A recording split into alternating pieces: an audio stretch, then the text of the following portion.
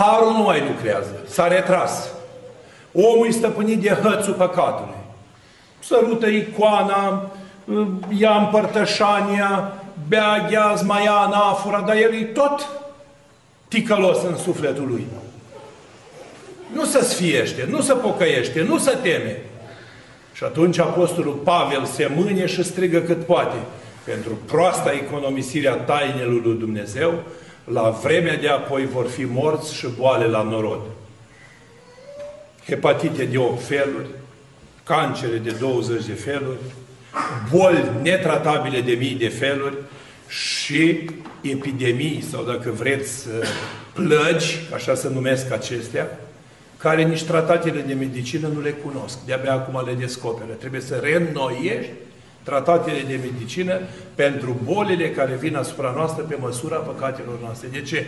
Ca să împlinească Scriptura, morți și boale la norod.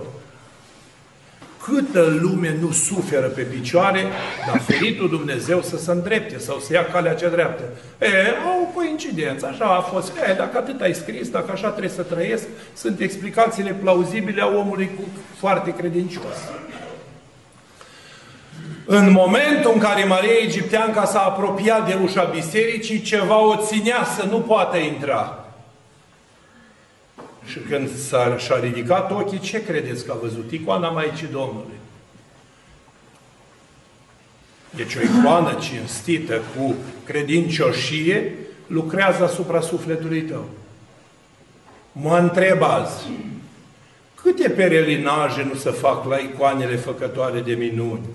Una plânge, una varsă lacrimi, una vorbește, una tămăduiește. Și să duc oamenii și aleargă vieții ca puii de pasăre toamna când încep zborurile călătoare spre țările calde. Dar să întoarce cineva folosit? Nu. Azi a pupat icoana făcătoare de minuni, mâine sărută părțile rușinoase ale trupului, ceea ce e interzis prin lege. Și pe acolo, prin gură, intră sufletul, prin gură iese sufletul, prin gură dai răspuns la judecată, prin gură iei sfintele taine, prin gură te rogi, prin gură strigi la Dumnezeu de iertare de păcate și mai dai și răspuns la judecată. Și omul a sărutat icoana făcătoare de vină. Iar după aceea s-a întors la icoana păcatului.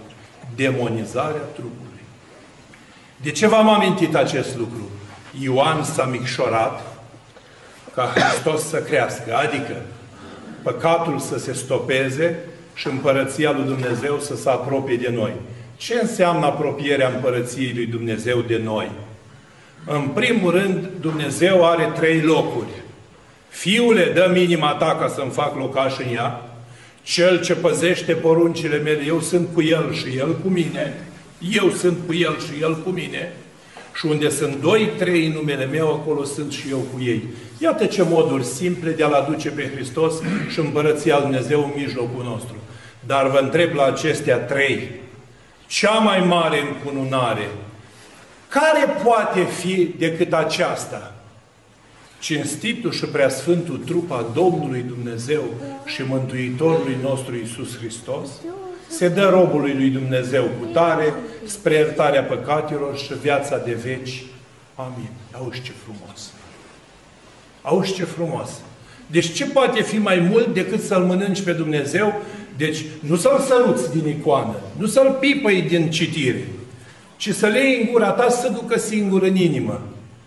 Dar Mântuitorul a spus în fericiri când se iese cu Evanghelia la Văhod. Fericiți cei curați cu inima, că aceia vor vedea pe Dumnezeu. Că aceia vor vedea pe Dumnezeu. Deci ce-mi rezultă mie de aici? Că Ioan Botezătorul era curat cu inima. Deci, iată, el a văzut cerurile deschise și Duhul Sfânt în chip ca de porumbel. Iată măsura ascetică. Și care e măsura ascetică în familie? Că cineva va zice, da, părinte, dar nu-ți pot face toți călugări, nu-ți pot duce toți la mănăstire, nu poți trăiască toți singuri. Nu! Măsura ascetică este una pe care a spus-o Hristos.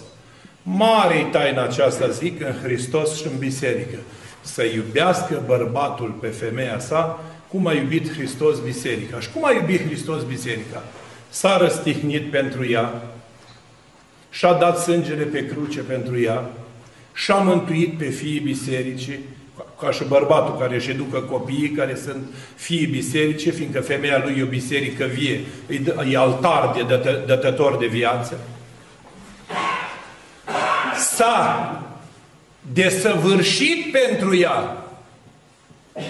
A s-a deșertat din cer și s-a făcut om adevărat și Dumnezeu adevărat. Și bărbatul trebuie să fie model Hristos pentru familia lui.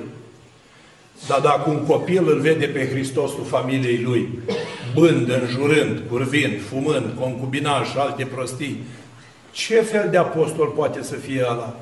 Apostolul iadului în care a trăit. Și atunci se spune că Mântuitorul, venind în zona Galilei, a trăit undeva în Capernaum și spune acolo undeva un citat în Scriptură, nu l-am aminte exact. Capernaume, Capernaume, până la cer te-ai ridicat, până la ea te vei coborâ. Că de s-ar fi făcut în Tir și în Sidon, sau de s-ar fi făcut în Sodoma și Gomora, minunile care s-au făcut în tine, de mult s-ar fi pocăit. Auzi? De mult s-ar fi pocăit. Dar oare noi care vedem zilnic minunea Euharistiei și Hristos pe pământ, dar noi care vedem moaștele în fiecare zi, auzim clopotul în fiecare zi, vedem atâtea lucruri și citim atâtea lucruri, noi ce răspuns dăm la judecată? Sodoma și Gomora nu avea răspuns, că era Vechiul Testament. Erau niște cretini, Lot era serios, ceilalți erau niște destrăbălați, niște homosexuali, că așa asta însemna Sodoma și Gomora. Ei, noi ce răspuns avem într-o lege modernă și într-un trai modern și într-o societate modernă, bine pusă la punct, cu legi bine pusă la punct, cu sistem de dezvoltare științific, cu sistem educațional, uh, cu sistem de cercetare, uh, cu sistem de dezvoltare a culturii, uh, cu sistem de culturalizare, ce vom răspunde atunci la judecată? Doamne, dar stai un pic, tu ești puțin depășit, vii de 2000 de ani în urmă, noi am progresat, noi am depășit limita bunului simț. Tu ai rămas în epoca bunului simț, du-te, întoarce-te la Tată, tu în cer acolo și stai în sânurile Lui, nu avem nevoie de tine. Și o să spuneți, de unde scrie aceasta? În Scriptură scrie aceasta. Trecând Iisus prin Gadara și văzând doi îndrăciți goi, care rupeau lanțurile, dormeau pe morminte, urlau și strigau, a certat Duhul și a ieșit și a zis diavolul, nu ne trimite pe noi mai înainte de vreme în adânc. Iisus a tăcut, a sfidat uh, esența. Și atunci dracii au întins o capcană. Doamne, dă nevoie să intrăm în porci. Și turma s-a aruncat în mare. Ce au zis oamenii ținuturile acelea? Mai țineți minte? Iisuse, pleacă din ținuturile noastre. Nu ne-a dat tu nouă peste cap sistemul financiar, sistemul economic, gândirea ideologică, științifică și modernismul și globalismul în care trăim. Noi știm ce e bine și ce e rău. Las că avem noi legi. Putem face și un molit fernic pentru uh, perverși, putem face și o biserică pentru ticăloși și mi-a plăcut odată afirmația unei prostituate la spovedit. Nu știu cum a ajuns în postul mare să se spovedească și dacă ești în intimitate cu duhovnicul, discuți orice. Și o întreb, vezi, vezi o redresare a genului vostru feminin în privința acestui dezmăț urât pe care îl faceți? Părinte, să știți că m-am gândit. Ia zi să văd ce ai gândit. Cred că și noi, prostituatele, dacă ne-ar legifera din banii care îi strângem acolo la clubul nostru, unde le face casa de randevu, am putea face o biserică să ne ierte Dumnezeu pentru păcatele făcute. Ai auzit ce gândire teologică? Nu mai era nicio sursă de bani în societate de făcut o biserică, ci din prostituție. Că doar le ierta Dumnezeu. Exact cum a zis dracul lui Adam, mănâncă că vei fi ca Dumnezeu, încă ai să știi mai mult ca El și ai să-L întreci. Deci, același lucru l-a gândit și femeia, limitată, deci nu era de judecat. Și i-a spus, da, dar vezi că uite ce scrie în canoane. banul desfrânatului și a curvarului să nu-l pui la biserică, să-l dai pe foc. E, lasă, părinte, că doar nu o fi chiar așa. Nu o fi chiar așa. În mintea celui care păcătuiește, psalmistul David a arătat de 2000 de ani, scris negru pe alb. Zâs acel nebun, nu-i Dumnezeu înaintea ochilor lui. Și iarăși spune, zice, un alt verset, că sunt două asemănătoare. Zis acel nebun înaintea lui, nu-i Dumnezeu înaintea ochilor lui când păcătuiește. Dar în Catisma 7, era psalmul 44 sau 45, nu știu exact uh, poziția, Dumnezeu lea pe păcătos de urechea dreaptă și îi spune De ce e așezământul meu de lege prin buzele tale? De ce crezi că voi fi asemenea ție? Când cu cel curvar și tâlhar partea ta puneai, crezând că voi fi asemenea ție. Nu! Te voi mustra și voi pune înaintea feței tale toate păcatele tale și nu va fi Cel ce te izbăvește, adică Dumnezeu.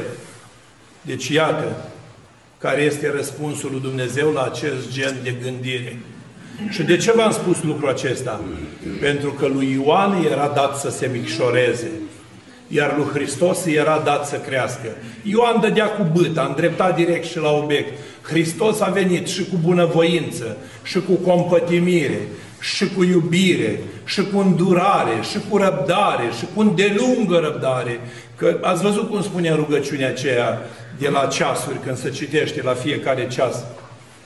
Doamne, care pe cei drepți iubești, pe păcătoși miluiești și întorci la cunoștința adevărului pe toți care vor să vină. Deci, Dumne, îndelung răbdătorile, mult milostive și mult milosârde, adică aștept și peste poate. Dar mă întreb eu, ce va fi mai greu la judecată? Să dăm răspuns de păcatele noastre sau va fi mai greu să dăm răspuns la judecată de timpul în care Dumnezeu ne-a așteptat și noi n-am reacționat? Ca a spus Mântuitorul, veți da socoteală pentru tot timpul pierdut în deșert. Ia fiți atenți ce frumos sună. Și acum eu întreb. Distracțiile de noapte prin discoteci sunt timp folositor lui Dumnezeu? Nu o cred. Bețiile și somnurile acelea lungi cu vome și cu miros și cu urină și cu paturi îmbibate că spală femeia de isar măselele după bețivan, alea sunt timpuri eficiente? Nopțile petrecute la prostituate și prin casele de randevu sunt timpuri plăcute lui Dumnezeu? Nu. Sunt timpurile de șarte ale vieții noastre, petrecute aiurea la întâmplare, pentru care vom da socoteală nu că am greșit, nu de ce am greșit, de ce n-am înțeles că viața este un dar de la Dumnezeu pentru a-L lăuda pe Creator și a pune în valoare talentul care ți s-a dat. Care sunt talanții omului? Sunt trei proverbe populare. 1. Omul sfințește locul și aici ne referim la tot ce înseamnă, de la troiță până la locașul de cult, de la casa de creștin curată până la omul evlavios, care însuși casa lui ajunge biserică. Omul se cunoaște după fapte și pomul după roadă, deci ceea ce înseamnă că noi trebuie să ne comparăm biologic cu celelalte create în jur. Și de ce? Cineva va spune, și treaba meu cu un pom. Ai? Tot psalmistul David vine și îmi spune, cerurile spun slava lui Dumnezeu, dar facerea mâinilor lui o vestește tăria. De ce avem proverbe populare de ce avem proverbe populare legate de natură? Când va face plopul pere și răchita micșunele. De ce avem poame din ciulini și flori din mărăcini? Deci ca să înțelegem că la un moment dat chiar Mântuitorul ne-a dat o parabolă și a spus ieșind un sămănător să arunce sămânța sa, una a căzut în spini, alta a căzut în pământ uscat, alta în pământ petros, alta în pământ sterb și abia, abia că a căzut câteva și în pământ bun care au dat roadă, 130-60. Ca să ne arate că omul nu este altceva decât un uh, centru al creației în macrocosmosul creat de Dumnezeu, dar în, micro, în microcosmosul în care el se învârte. În cei 30 de ani care ți-a dat comunismul sau 3 hectare care le-ai moștenit de la tatu prin titlu de proprietate.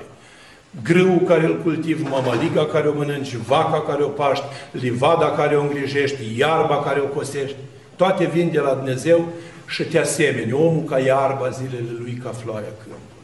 Zilele lui ca umbra trec și așa mai departe. De ce v-am amintit toate aceste lucruri?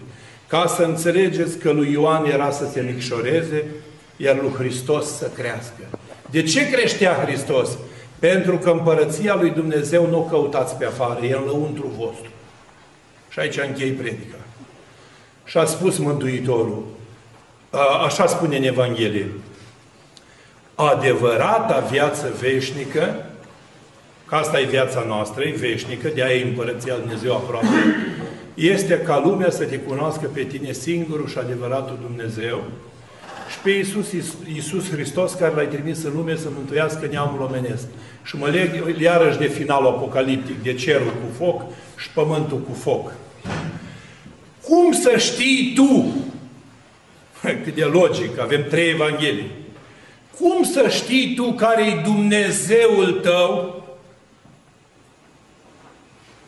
Dacă tu pe pământ nu i-ai cunoscut identitatea, când va veni grozăvia aceea apocalipsei, tu în loc să aștepți îngerul să te însamne, să te ducă la lumină, alergi ca un bezmetic, cum spune Apocalipsa, uh, se vor ruga să deschidă mormintele, să intre, vor cădea munți pe ei, va fi plângerea și scrâșnirea dinților, dar în final scrie acolo, pentru cei ce au necinstit semnul Fiului Omului adică învierea și răstihnirea. Iată pentru cine începe groaza. Și atunci nu va fi nici pocăință și nici lacrimi, pentru că s-au închis porțile Bisericii Biruitoare din cer, iar Hristos a legat sulul cu pecetea a șaptea, iar leul va fi miel în scaun de judecată și va sta pe scaun, pe 12 scaune cu cei 12 apostoli și va judeca lumea zicând celor de-a dreapta veniți la mine, că am mâncat când am fost flămând, am băut când am fost însetat, m-ați îmbrăcat când am fost gol și celor de-a stânga nu vă cunosc pe voi. Și da, dar când ne-ai cerut, când ți-am dat, nu știu, întrucât ați făcut celor mai mici, mie mi-ați făcut. Deci iată cât de simplificată este împărăția lui Dumnezeu și cât de simplificată este porunca lui Isus Hristos ca împărăția lui Dumnezeu să fie înăuntru nostru. Și ca să fie împărăția lui Dumnezeu înăuntru nostru, vă amintesc cu ce am început. Fiule, dăm inima ta ca să-mi fac locaș în ea. Amin. Să trăim,